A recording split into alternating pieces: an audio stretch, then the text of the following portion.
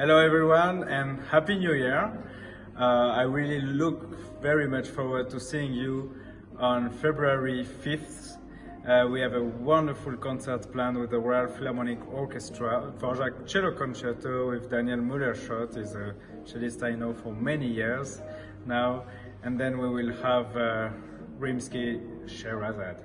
I really hope to see you there and I look forward very much, you know, coming up, uh, we have a, a, big tour coming up with the Royal Philharmonic Orchestra with a great soloist, Sol Gabetta playing Elgar, cello concerto, Arabella Steinbacher playing Bruch, violin concerto, Jan Lisiecki playing Chopin, piano concerto number two in the Berlin Philharmonic, and then we will end this great tour with Daniel Müller-Schott playing Dvorak cello concerto.